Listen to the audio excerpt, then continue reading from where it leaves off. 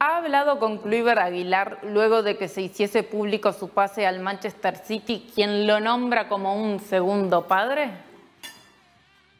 Sí, sí, hemos tenido contacto o sea, por, por mensaje. Él me escribió ese día que, que, que, salió en prensa lo de su transferencia y no hay ninguna duda que fue una gran alegría para, para mí en lo personal, porque bueno, es un chico que lo conocí el 1 de junio del 19, cuando llegué a, a Lima para esta, esta etapa final.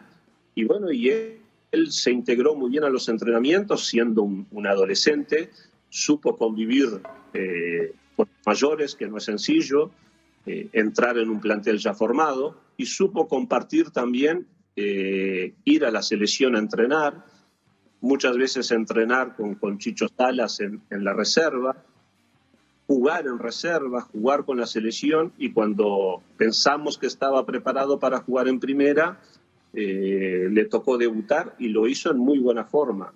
Él siguió, digamos, a pesar de haber tenido un gran rendimiento de la forma, preocupándose mucho por su físico, eh, un chico muy educado y, bueno, y con muchas ganas de ayudar a su familia.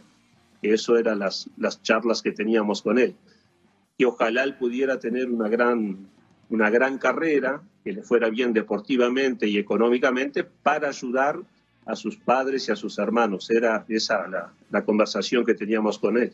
Y no hay ninguna duda que me dejó muy contento que él me, me escribiera agradeciendo lo que habíamos vivido juntos y principalmente lo que conversábamos, porque como futbolista no hay ninguna duda que todo el mérito, mérito es de él. ¿no?